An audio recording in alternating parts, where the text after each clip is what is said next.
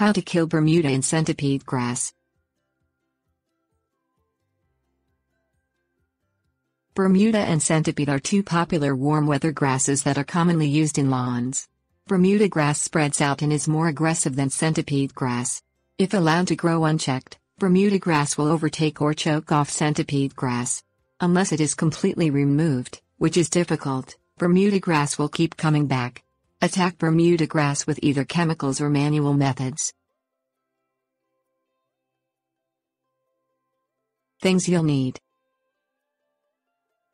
Water, Fertilizer, Sprayer, Herbicide, Spade, Rake, Plastic sheet, Newspapers. With a herbicide. Keep the patches of Bermuda grass well watered. You can also fertilize the patches to encourage their growth. Don't mow the grass. A herbicide is absorbed better when the grass blades are long. Spray the Bermuda grass thoroughly with an herbicide that has a glyphosate solution. Read the directions on the package to see how many applications are recommended. Know how long you should wait between applications. Allow the Bermuda grass to absorb the herbicide for at least 3 days. Remove as much Bermuda grass as you can manually. Rake out dead grass. Use a hand spade to dig out Bermuda grass and its roots. Wait a week to see what Bermuda grass has survived. Spray the herbicide again, and repeat steps listed above. Keep an eye on the lawn in future years, and retreat with herbicide if any Bermuda grass grows back.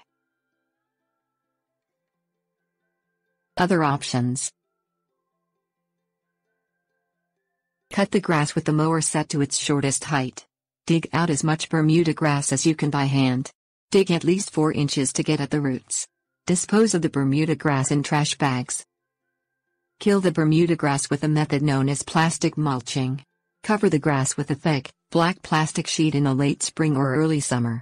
Weigh down the sheet, and leave it in place until late summer. Cover the areas where you pulled the Bermuda grass with newspapers. Weigh down the newspapers, and leave them in place for at least two weeks.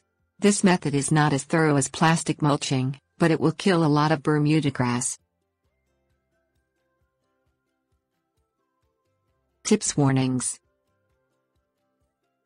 Do not attempt to remove Bermuda grass by hand prior to applying a herbicide. This will make the herbicide less effective.